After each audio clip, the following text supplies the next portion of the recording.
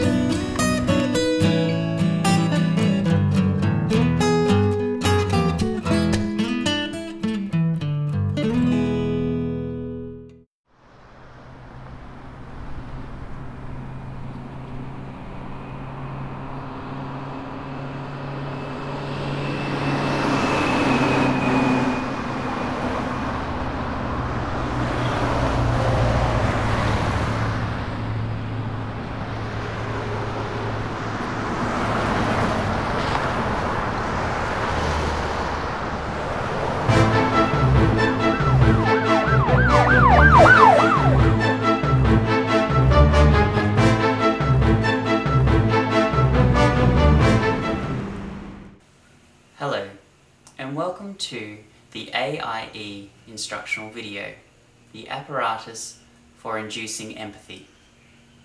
Lack of empathy towards others is an all too common condition in modern society. Here at the Institute, we've developed an apparatus to assist with this all too common problem.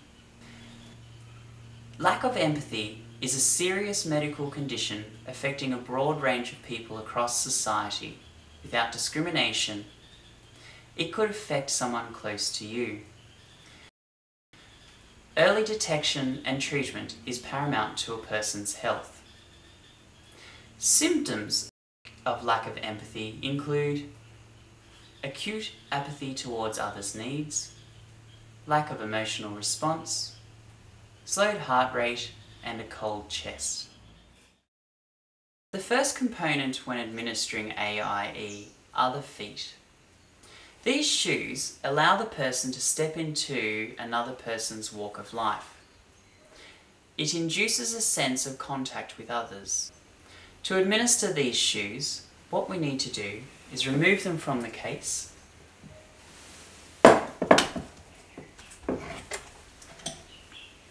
They are a convenient one size fits all. You adjust them by the adjusting to the length of the person's foot, placing the person's foot in the shoe, then switching on the switch. The second part of the apparatus that is applied is the headpiece. Firstly, you place the piece gently on the person's head, then secure with a chin strap. When functional, the apparatus flashes a red light on the side. This indicates that the images are being supplied through the eyepieces and the audio cues through the earpieces. Once the person has reached optimal level of empathy, the light on top will turn on. The third component of AIE is the heart. To apply this part of the apparatus, you use the flanged end to attach to the person's heart then you blow gentle breath into the spout end. This warms the chest cavity and also increases the heart back to normal rhythm.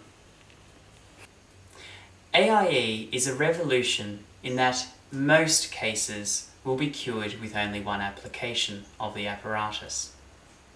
Severe cases, however, may require repeat applications. If you know someone who is displaying the symptoms of lack of empathy, early detection and treatment is vital. Please contact our 24 hour hotline. Thank you.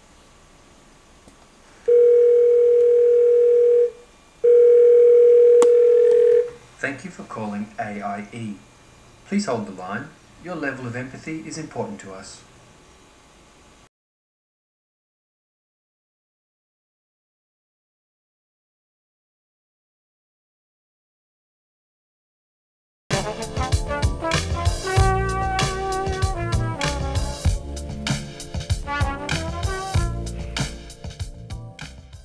It's a fictitious invention. I, I wish it did work.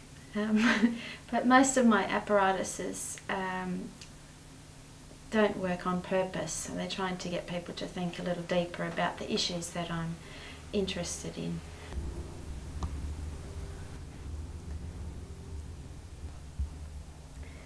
Uh, this box, it, it contains the apparatus for inducing empathy. Uh, I made it from felt. Felt is a, um, a good insulation material. Um, I'm actually a felt maker as well as a sculptor. The inside, the wood inside, is from two drawers out of a cupboard. Um, when you open the box up, it's got an instruction about how to apply the apparatus. Um, it's to be administered only in emergency situations where you encounter someone with acute uh, case of apathy. So the feet, feet um, I carved from wood and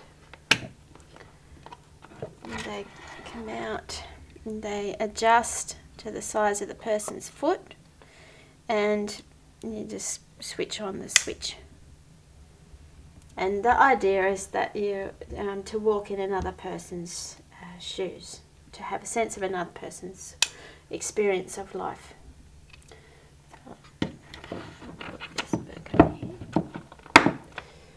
Um, and this is the heart warming apparatus. So this end goes onto the patient's chest and I blow into this end and I warm the patient's heart. Um, this is for people with a cold heart to other people's uh, plights. And this is the head apparatus. So it's um, lined with felt as well as an insulation material. So the eyepieces uh, emit images from that person's uh, life experience and the audio earpieces um, uh, provide the audio experience, and then once the optimum level of empathy is reached, the light bulb on the top switches on. The idea behind this work um, is to create a fictitious invention that, uh, if it applied to a, person or a patient, it administers empathy, in, induces empathy into that person. Um, so the kit comes complete with an instruction um, list, how to apply the apparatus, how to identify cases of apathy, and then it's got a uh, disclaimer down the bottom that no responsibility will be taken for the level of empathy reached as a result of using this apparatus. Many of the works that I make um, are humorous, but they also have a, tragic side to them, a, a bit more serious uh, concern. But I'm quite interested in the um, fine line between comedy and tragic circumstances.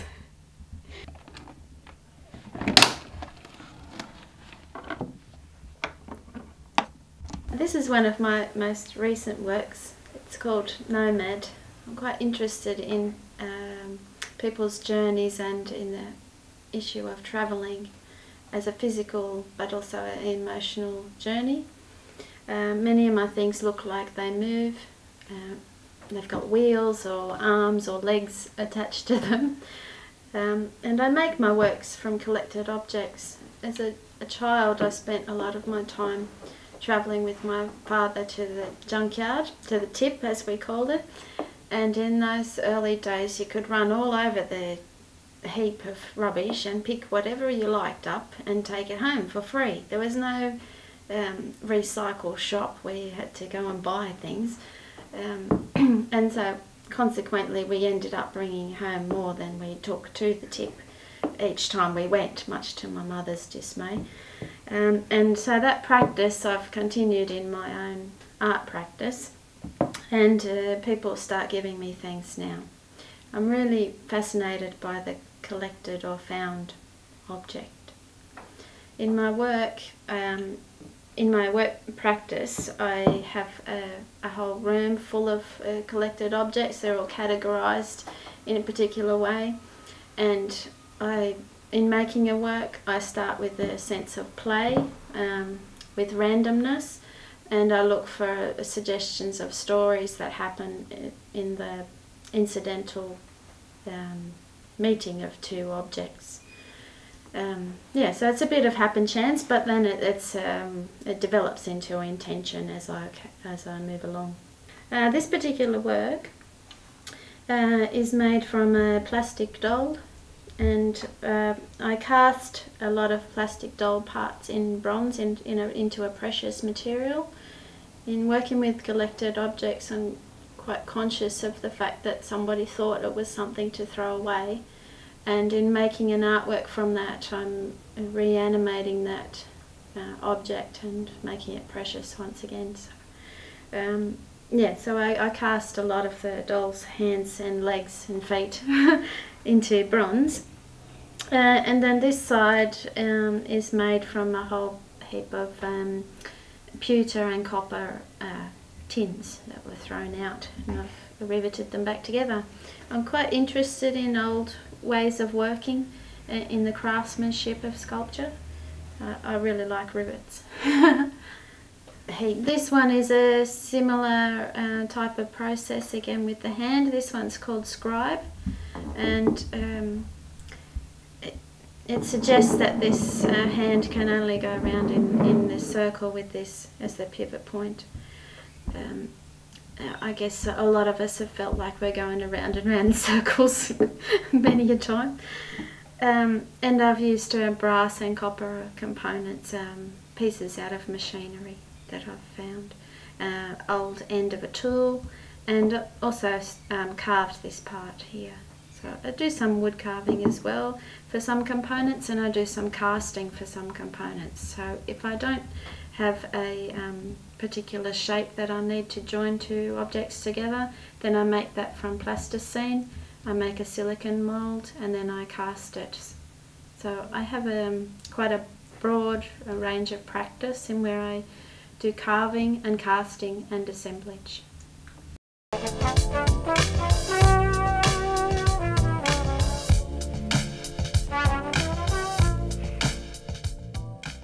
Uh, it has a nice sense of movement about it, that it, it travels in circles.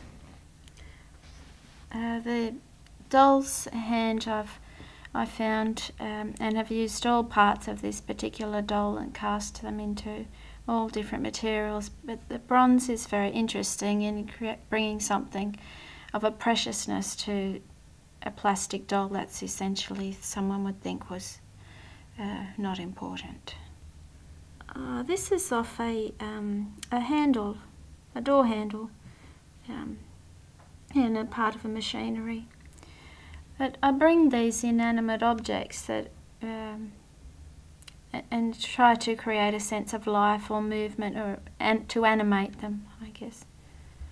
So in creating a work, I, I continuously work towards um, the work having a sense of a, its own life, liveliness. This particular work um, I've worked with the idea of nomadism or tra- traveling, um, wandering for a long time. Uh, I think essentially all human beings have that sense of wandering. Um, what what is the purpose of life? And uh, I made this work out of uh, again out of disparate objects. So there's parts of copper bowls and a vase that was made from pewter. Um, they're all junk objects that I collect from the, the tip. Um, often they're damaged and I've cut, cut them and beat them with a hammer into shape and then riveted. Uh, yeah. Uh, this um, particular one is called Tree. um, there's a, a, I suppose it's a post-apocalyptic sort of suggestion that maybe this is the last tree, the last precious tree left. It's um, it's kind of a cyborg tree. It's got parts of the tree uh, made up of machine parts and uh, yeah, there's a little watch uh, wind up connection mechanism there. This work is uh, made from collected objects. Even the tray is made from one of my cooking spoons that I broke uh, after so many years. It was my favourite cooking spoon. Um, but these are from uh, different parts of collected objects. So um, parts of machinery, um, and parts out of a clock. This is from uh, another clock, a jeweler maker's turn. Uh, this of a candelabra. So I you work with quite disparate objects from uh, different life life uh, passages, I guess, and bring them all together to create a new life for these objects. This is a work that I have currently in the Woollahra Small Sculpture Prize. Uh, it runs until the 1st of November at the Woollahra Council Chambers. Uh, it's called Wallop. I made this work from um, a lot of tennis rackets. I had all my friends out looking for wooden tennis rackets. Uh, and I've cut and doweled and glued and remodeled them so that it appears as if it's one tennis racket that's gone a bit loopy. Um, essentially tennis rackets are, are, kind of ordinary objects of a, quite an orderly game. There's a lot of rules and order about tennis and um, I wanted to subvert that and make one that was a bit unruly. Yes, a wild, a tennis racket gone wild. Um, and I've incorporated a uh, part of a chair or um, a curly part of a chair onto the end of the tennis racket and a, a bit of a sinister looking uh, leather strapped uh, spike, spiky end to it as if it's going to whack a passerby. yeah. Um, I like to incorporate a sense of humour into my works but there's also a kind of a sinister or um, more serious side to the work. This work is called Gunship. Um, it's fairly large work. It's got two drawers that open out from the front of it. Um, I made this work out of a whole collection of different sorts of things riveted together. And the work is designed to look a bit like a bomb, I guess, but in, in opening the drawers, there's also a suggestion of um, a whole series of coffins. Um, I'll just show you this is inside. So these are the drawers. When you open the drawers out, there are um, a whole series of uh, people inside. In the top drawer there are combatants and in the bottom drawer there are civilians. Um, these are the civilians and uh, they're made in the shape of bullets. So it's a suggestion that um, war is not a game it, and uh, each bullet there's casualties for either side. And so the work also um, appears quite humorous from a distance, but once you get close to it and realise the uh, content of the work, it gets a bit more serious. Um, these particular ones are made again from a plastic toy, and I did some casting and remodelling, uh, and they're cast in bronze. This is a photo of a work called uh, Parrot Caravan. Uh, there's a suggestion here of uh, humour and tragedy at the same time. The idea of a caravan is that you have a certain sense of freedom, that you can uh, travel with your house attached to yourself. But there's also a double bind in that, that you can only take a caravan so many certain places.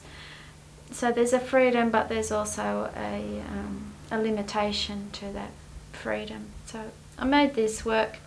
This parrot, he carries his home with him. And inside the caravan, he's also got, uh, it's designed with the sky, it's painted with the sky inside so that when he goes to sleep at night, he can imagine that he's free. Uh, again, it's, it seems like a humorous story, but it's actually um, quite sad and poignant, I guess, at the same time.